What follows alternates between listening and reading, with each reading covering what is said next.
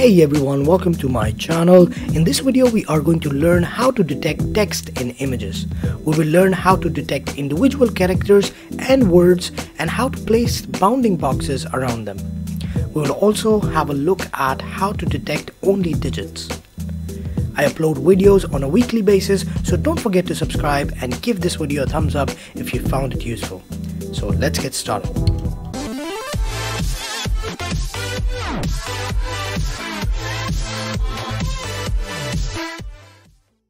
So first we are going to head on to the Tesseract documentation and here we can find different methods of the installation. So we have Linux, we have Debian, we have Raspbian. So we have a lot of different uh, operating systems here. For macOS we have, uh, you can use Homebrew to install.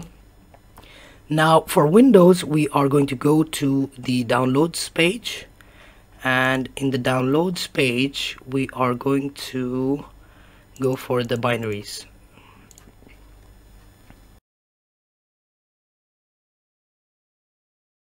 So over here we will click on Windows installer.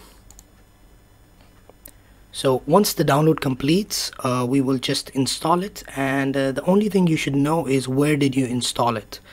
And uh, most probably it is going to be in C and program files the folder name would be Tesseract OCR. So here I am in C and program files and we can locate the Tesseract over here and you can see that we have our executable somewhere around here. Where is it? There you go. So we have tesseract.exe so this is the file that we will refer to in our uh, python code so we have to copy uh, this path. So now in PyCharm we are going to first go into file settings and then we are going to go to the interpreter and we will add PyTesseract. So we will write PyTesseract and we will install it. And the same way we are going to install OpenCV as well. So we will write OpenCV. And there you go. So we will install that as well. Now while it's installing let me show you the image that we will be using. So here we have our main folder uh, and we have 1.png within our main directory. So if I just open it up so it's just an image with my channel's name Murtaza's workshop robotics and AI and then we have a few numbers 1 2 3 4 5 up till 15 so we can see how it detects now uh, I think the installations are done so we can move on to importing so first we will import the uh, OpenCV library so import cv2 and then we are going to import PyTesseract import by Tesseract. Now we are going to refer to our executable file. So we will say pytesseract dot pytesseract dot tesseract cmd is equals to and here we will paste our link for the uh, what do you call? It? okay let me put this here first and then here. And then over here we are going to write tesseract.exe so let me close this out so you can see more clearly. So there you have we have the pytesseract um, executable file and then we are going to change all of these to backlashes and there you go so at this point we just want to run it to see everything is fine and there you go so no errors so far so now we are going to read our image. So we will write img is equals to cv2.imread. And here we have to give the path and our path is 1.png. And the thing with uh, PyTesseract is that it only accepts RGB values and uh, OpenCV is in BGR. So we have to convert it before we can actually send it to the PyTesseract um, library so here we will write img is equals to cv2 dot cvt color and we will write img is equals to cv2 dot color rgb to bgr no bgr to okay let me just write it down. So now that our image is converted we can display it so we can write cv2.imshow and we will write the window name for example result and then image. Now I know that uh, we just converted it into RGB and if you want to convert it back to BGR that's fine. Just for the demonstration purpose this should work as well. Then we will write uh, cv2 dot wait key and we are going to delay it for infinity. And there you go. So we have our image and it's displaying so how do we get the information or the text out of this now it's very simple all we have to do is we have to use one of the functions in the PyTesseract library so how can we uh, know which uh, functions are we talking about? So we can just go to the PyTesseract and over here we can see that we have a lot of different functions. Uh, if you're not familiar how to go, uh, you can press control and the left mouse button. So control and left mouse button and it will take you to the main uh, script. And then here you can see that we have the image to boxes image to data image to OSD so we don't know what each one of these uh, does. So what we can do is we can click on it again control and left click and it will take us to where the function is written.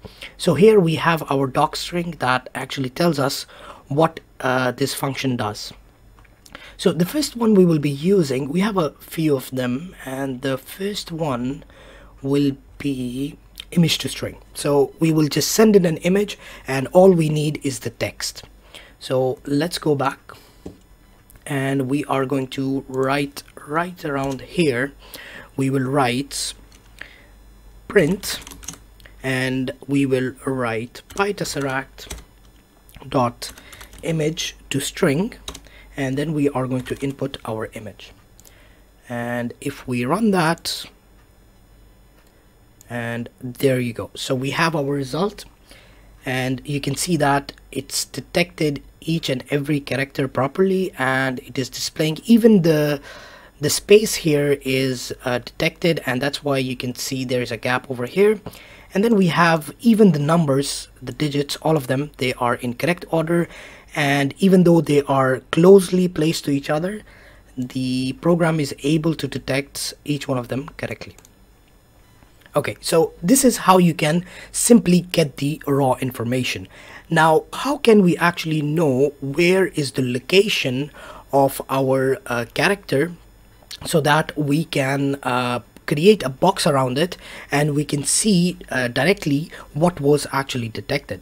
So in order to do that we have if we go back to the functions we have image to boxes. So this will give us the output in terms of the bounding box and the text. So if we go back and if we just change this or let me just copy this.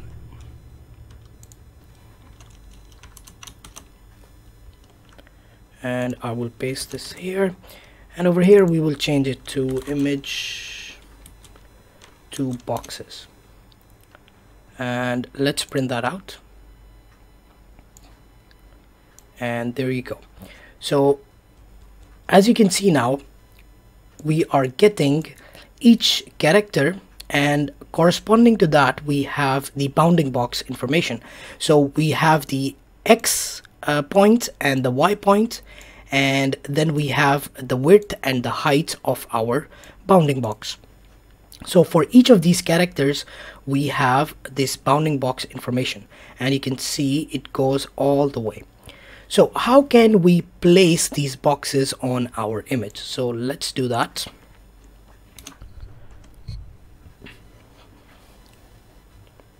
So let's define this as detecting characters. So first we are going to take the information of the size of our image. So we will say height image and width image. And then the third one channel we are not uh, so concerned about that. So we will leave it as it is. And then we will say image dot shape so next we are going to okay let me close this. Okay next we are going to add a loop. Or should we write this first? Let's write this first. We will remove that. We will bring it down here. And over here we are going to store all of the information in a list. So we will say boxes is equals to uh, all of the information being received so we will say for b in boxes dot split lines. We are going to print b. So let's run that. And there you go. So we are getting the same information but the thing is we need each one of these as a list so we can actually uh, pinpoint which value are we referring to so it's easier to uh, use that information. So what we can do is we can say b is equals to b dot split and then we have to define split using the space. So we can see that we have space in between each one of these. So we can say split each value based on the free space. Uh, we need to print it again so we can see what changed. So let's print that out. And there we have it. So now each one of these uh, has been um, transformed into a list and we can access each element. So the first one will be the text. So the second one is uh, x then y then width and height. So now what we can do is we can get this information first. So we will say x y width and height is equals to b at 1 b at 2 then b at 3 and then b at 4 now uh, all of these are basically uh, strings. So we have to change them to integers so we can actually use them. So we will write integer and then integer. Should have copy pasted and then integer. So now we can use these values to create a rectangle and uh, to put the text as well so let's first create rectangles so we will write cv2 dot rectangle. And we have to define our image. And then we have to define the x and the y. So first we are going to define the x and then the y. And then we are going to define the width and the height but for the width and the height we have to add the value of x and the value of y. So y plus height. And then we have to define what do we have to define? Color. Okay so we will define let's say red. So 0 0 255 and then the thickness as 1 and that should do it so we can comment these out. And let's run that. And there you go. So now we have the boxes but something seems to be wrong. Something seems to be fundamentally wrong.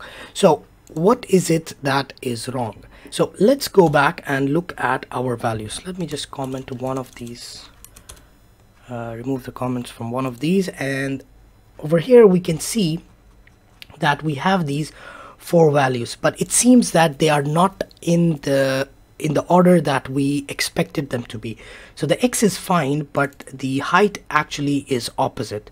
So what we need to do is we need to subtract our image height from y. So we are going to do image height from y and then we do not need to add the x and the y. Normally we have to but in this case they're already giving us the direct information. So we don't have to add this and we can just do height minus h. And let's try that again. And there you go. The the thickness is not right. Let me just add a little bit. And there you go. So now we can see that it is detecting properly and we are able to get our bounding box for each of these characters. Now next what we can do is we can label these characters around their box so we can see that if they were detected properly or not. So we can write cv2 dot put text and we define the image. And then uh, as you know the character is basically the first element in our list. So we will say b0 and then we have the x and the height image minus uh, y. And then we are going to write the font cv2 dot font.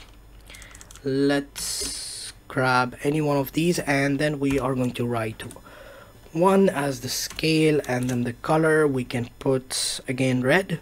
So 50 50 and 255 just to dim it out a little bit. And then we can write thickness as 2 so let's run that. And there you go. But it's not very visible is it? So we can we can bring it down a little bit. So we can say here plus 25 let's say. And there you go. So now the characters are visible and we can see the bounding boxes around them. So that's great. So next we are going to look at how we can detect words rather than characters. Sometimes you don't care about the individual characters you care about the words. So how can we do that? So let me just copy all of this. Copy that and we will comment this out and we will go down. And we over here we will write detecting words. So now for that we have something known as the image image to data so let's just run this and see what happens. So we are getting into an error. Now, why is that? Let's just remove all of this and print out the boxes. So print boxes. So let's run that. And there you go. So we have an output but this time around we have a lot of columns. So we don't just have how many did we have before? I think five. And this time around we have a lot. So we have level we have page number block number paragraph number line number word number then left top width height configuration and text. So if we see the last one is our actual text so we are detecting words. And what we can see even this is detected as a single word because it's quite congested. So now we need to redefine our for loop so that it can handle uh, the formatting of this data. So let's go back and let's comment this out. So first of all we can see that uh, our first row is actually uh, the heading. So we don't want to use the information when it comes to the first row. So the very first thing we will introduce is the counter. So in order to add the counter we can say enumerate. You can add a variable at the top and write count equals zero and then count. That is fine as well. But this is a little more efficient way to do it. So now every time it loops it will uh, put the value of the count in x. So we can say that if x is not equals to 0 then we are going to perform all of these actions. Let me remove this b and let's see. Let's let's run it and see what happens so now we have again we have an error because our data is not in the correct format. That is fine but as long as we are getting the b properly and we are not. So if we look at our b it is not in the correct format. Now what we can do is to fix this we can remove our space and let it decide by itself. So if we run that and there you go. So now we have um, the data as you can see in the proper formatting and we can see the first four of them are um, how many how many columns do they have? One two three four five six seven eight nine ten eleven. So the first four have 11 and the rest of them the ones that actually have words are 12 so this is the information that we can use to actually print out only the ones that have um, the length of at least 12. Not at least, exactly 12. So we can write here, uh, do we want to keep it? Let's keep it. So we can write here, let me remove that. So we can write here if length of B is equals to 12 then only we are going to perform these actions. Okay but now if you remember uh, in the previous one we only had I think five values.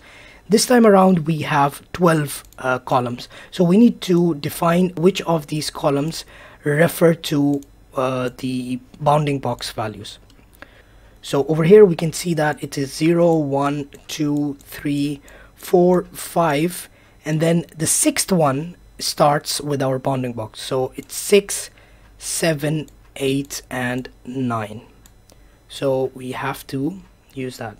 So we can write here six, seven, eight, and 9 so if we use that and if we just run this I hope it works. Let's see. Okay so now we are not getting any errors but the location is definitely not right. Now this is the funny part. Here the information is given in a different format and I have no idea why they did this. So here they are actually using the proper formatting and we can write uh, simply y and over here we can write width plus x. And over here we can write height plus uh, y. And let's run that. And there you go. So now we are getting the correct bounding boxes. And uh, the last thing we can do is we can put our text so here we can remove that. And b0 is not the text. B11 is the text. So we will write here 11 and then again we have to change the starting point which is x and y. And then we have the font and everything pretty much the same. So if we run that there you go. So now we are getting each of the bounding boxes and we are getting the word that it corresponds to so next we are going to look at how we can detect only digits. So if we want to detect only numbers what is it that we can do? So let me copy this. And uh, okay let me comment this out as well. And at the bottom we are going to paste it. And now we can add configurations to our PyTesseract function. And based on that it will uh, filter out the data for us. Now what are these configurations? Uh, let's find out. So we can write configuration is equals to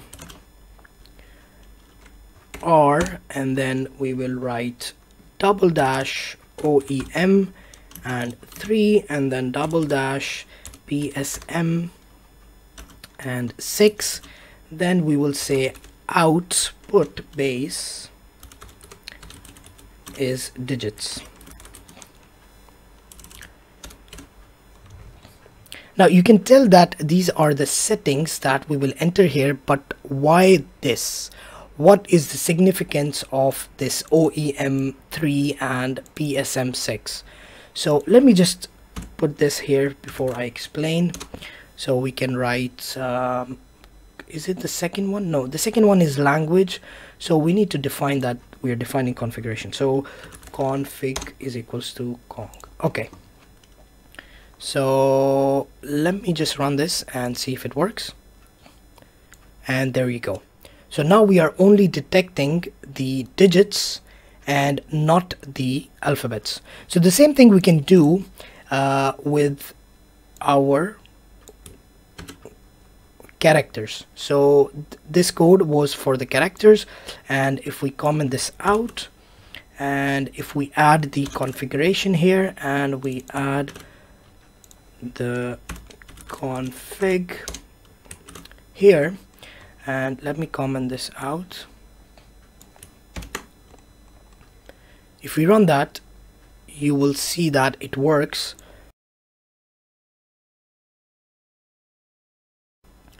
So coming back to our configurations, we saw OEM and PSM and what are those? So basically if you look at the documentation, uh, this image I have taken from the documentation and the first one we are referring to is OEM. So here we have the numbers and OEM basically um, represents the engine mode. So each of these engine modes you can select. So this is mostly the backend stuff that uh, it runs. So you can see here it will run Tesseract only, which is the fastest, then Cube only, better for accuracy but slower. Then we have number two, which is combining both, and then we have number three. So what we have done is we have put three and it will use the default. So the next configuration is our PSM now again this is from the documentation. The PSM is basically the page segmentation mode which basically represents the possible modes for our page layout analysis.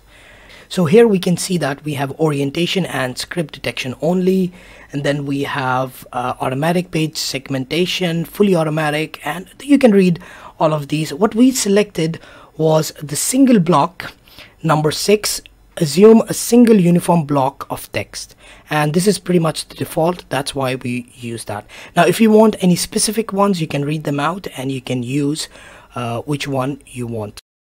And I will put these images in the description so that you can refer to them and change according to your project. So this is it for today's video. I hope you have learned something new uh, if you like the video, give it a thumbs up and don't forget to subscribe and I will see you in the next video.